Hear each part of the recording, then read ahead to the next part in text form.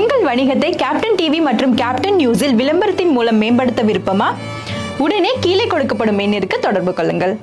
இப்போ என்ன இப்போ இது அதை எடுத்துட்டு மராட்டிய மன்னர்கள் படத்தை போட சொல்றீங்களா? என்ன சொல்ல வரீங்க ஏங்க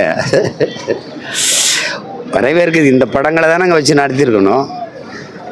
நான் வைக்கும்போதெல்லாம் கேட்கல நீங்கள் ஏன் இதெல்லாம் வைக்கிறீங்கன்ட்டு. எங்கள் அடையாளம் எங்கள் நாங்கள் தமிழர்கள் எங்கள் இன முன்னோர்கள் எங்களுக்கு போற்றத்தக்க பெருமை மிகு முன்னோர்கள் இருக்கிறாங்க. மன்னர்களாகட்டும் அதை தாண்டி அரசியல் தலைமைகளாகட்டும் தலைவர்களாகட்டும் அதை கொண்டு போகணும்ல.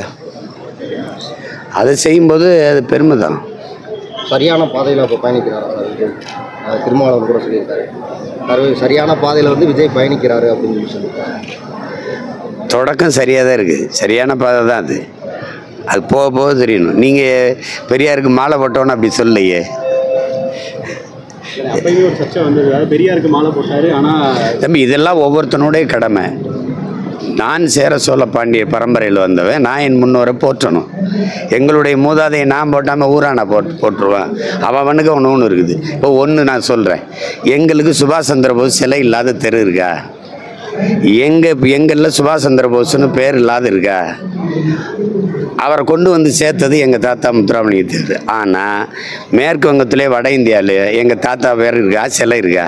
சொல்லுங்கள் நீங்கள் சொல்லுங்கள் அப்போது எதா ஏதாவது சொல்லுங்கள் எங்களுக்கு அந்த அடையாளங்கள் இருக்கா? நாங்கள் நம்ம விடுதலைக்கு போராடாமல் வேறு எதுக்கும் போராடினோமா என்ன? அப்போ இந்த மாதிரி ஒவ்வொன்றும் நாங்கள் நிராகரிக்கப்படும் போது நாங்கள் எந்த இடத்துல வீழ்த்தப்பட்டோமோ நிராகரிக்கப்பட்டோமோ அங்கேயே எழுந்து நிற்க வேண்டிய அவசியம் இருக்குது. அதுதான் இது. அதை செய்யணும். மதுரையில் மழை வந்து நான் சொல்லி தான் பெஞ்சிருக்குது நிர்வாக சீர்கேடு தம்பி இதெல்லாம் என்கிட்ட கேட்கக்கூடாது. என்கிட்ட கே என்- என்கிட்ட கேட்கக்கூடாது. இதெல்லாம் கேட்கக்கூடாது. நீங்கள் என்கிட்ட கேட்டு என்ன ஆகுது? என்கிட்ட கேட்டு வலியுறுத்தி? வலியுறுத்தி. என்ன ஆக போகுது சொல்லுங்க. நேற்று கட்சி ஆரம்பிச்சு இன்னைக்கு அதிகாரத்துக்கு வந்து மூணு ஆண்டுகள் ஆகுதுன்னா நீங்கள் இதெல்லாம் பேசுறது சரி. நீங்கள் எத்தனை ஆண்டுகள் ஆண்டிருக்கீங்க? எத்தனை தலைமுறை இது? ஆறாவது முறை அஞ்சாவது முறை ஒவ்வொருத்தரும் இருக்கிறீங்க நீங்கள் ஒன்று எழுபத்தஞ்சு வருஷம் அடிச்சு கட்சி ஆரம்பிச்சு அறுபது ஆண்டுகள் அந்த ரெண்டு கட்சியை தவிர யார்? எங்கள் மாதிரி ஆளுகள்கிட்ட எதுக்கு கேள்வி கேட்குறீங்க ஒரு அடிப்படை முதன்மையான நகரங்களில் அடிப்படை கட்டமைப்பை செய்ய நீங்கள் செய்யலை. ஒவ்வொரு முறையும் நீங்கள் மா அந்த மாநகராட்சிக்கு ஒதுக்கின நிதி எவ்வளவு? ஒரு நீர் வழிந்து ஓடி ஒரு இடத்துல சேருவதற்கு சேமிப்பதற்கு ஒரு திட்டம் இருக்கா இந்த நாட்டில்? ஒரு மணி நேரம் மழைக்கே இந்த நிலைமைனா தொடர்ச்சியாக மூணு நாள் நாலு நாள் மழைகள் மழை பெஞ்சதுன்னா என்ன ஆவீங்கன்னு சொல்லு கேட்டால் நல்லா ஆச்சுமிங்க அதுன்னு சொல்லுவீங்க. கொடுமை இதெல்லாம். மதுரை எப்படின்னு நீங்கள் சென்னைக்கு வந்து பாருங்கள் அது ஒரு நல்வாய்ப்பாக ரெண்டு நாளில் நிறுத்திக்கிட்டது. ஒரு ஒரு ஒரு ஒரு நாளில். தொடர்ச்சியாக ஆனாலும் தப்பிச்சிட்டோன்னு சொல்ல முடியாது. நாங்கள்லாம் சொல்ல முடியுமா? ஒரு ஒரு பரிசல் ஒரு துடுப்பு வாங்கி வச்சுருந்தோம்.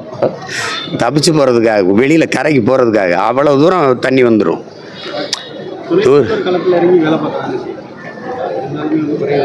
அவங்க அப்பாவும் துணை முதல்வர் இருக்கும்போது களத்தில் இங்கே வேலை பார்த்தாரு. உங்களுக்கு உங்களுக்கு புரியுதுன்னு நினைக்கிறேன். நீங்கள் நாலாயிரம் கோடி கொட்டி தொண்ணூறு விழுக்காடு கட்டமைப்பை முடிச்சிட்ட பிறகு ஆயிரத்தி ஐநூறு விசையந்திரங்கள் தேவையில்லையே நீரை இறச்சி ஊற்ற அப்படின்னா அடிப்படை கட்டமைப்பை செய்யலை. அதானே? ஒன்று அதை செய்யணும் இல்லை இதை செய்யணும். தம்பி வேலை செய்கிறது வேறு. வேலை செய்கிறது மாதிரி நடிக்கிறது வேற. கடமையாக செய்கிறது வேற ஒரு கடமைக்கு செய்கிறது வேற. வேறுபாடு புரியுதா? போயிட்டு வரேன். துல்லியமாக தினசரி நடப்பு நிகழ்வுகளையும் கல்வி விளையாட்டு அரசியல் வாழ்க்கை முறை மருத்துவம் தொழில்துறை சினிமா பொழுதுபோக்கு போன்ற பல்வேறு நிகழ்ச்சிகளையும் உடனுக்குடன் காண கேப்டன் டிவி மற்றும் கேப்டன் நியூஸ் சமூக வலைத்தள பக்கங்களோடு இணைந்திருங்கள். உங்கள் வணிகத்தை கேப்டன் டிவி மற்றும் கேப்டன் நியூஸில் விளம்பரத்தின் மூலம் மேம்படுத்த விருப்பமா? உடனே கீழே கொடுக்கப்படும் எண்ணிற்கு தொடர்பு கொள்ளுங்கள்.